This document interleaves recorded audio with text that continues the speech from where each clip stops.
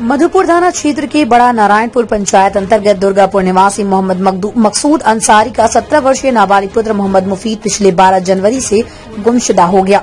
घटना को लेकर नाबालिग के पिता ने शुक्रवार को मधुपुर रेल थाना व मधुपुर थाने में पुत्र के गुमशुदगी का आवेदन दिया है। उन्होंने पुलिस को बताया कि उसका पुत्र मोहम्मद मुफीद बीते 12 जनवरी को हावड़ा स्टेशन से हावड़ा मोकामा ट्रेन पर सवार होकर मधुपुर आ रहा था। लेकिन मधुपुर स्टेशन पर उसका पुत्र नहीं, उतरा। इसके बाद काफ़ी खोजबीन की गई। कहा, पुत्र का मोबाइल भी बंद आ रहा है। उन्होंने रेल थाने व मधुपुर थाने में आवेदन देते हुए खोजबीन में मदद करने की गुहार लगाई है।